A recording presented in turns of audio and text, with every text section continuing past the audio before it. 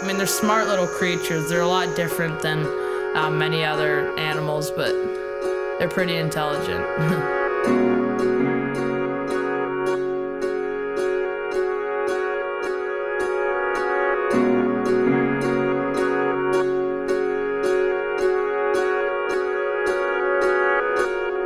On a simple level, the bees are much more independent. You definitely do not have to visit them every day, and they kind of do what they need.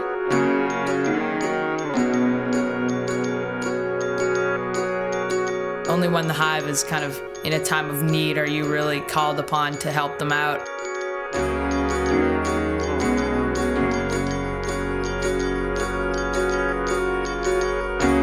Even though it's not your own work, you kind of feel like it is because it's just cool to see your own hive thriving and, you know, bees going everywhere, pollen coming in and out, honey being packed away.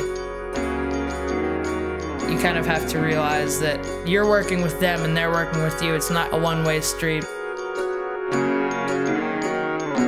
Honey is really mainly what it is, is dehydrated nectar.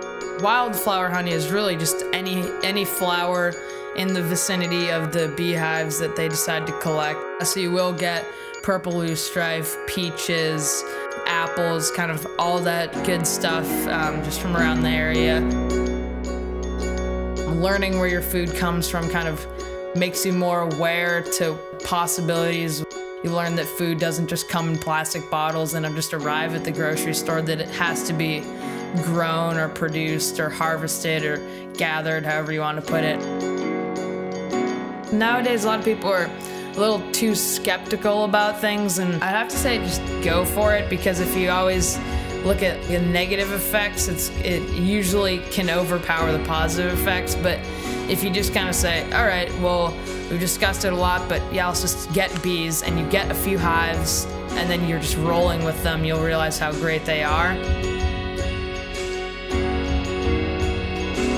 My name is Orren Fox. This is my third year keeping bees, and what else do I have to say?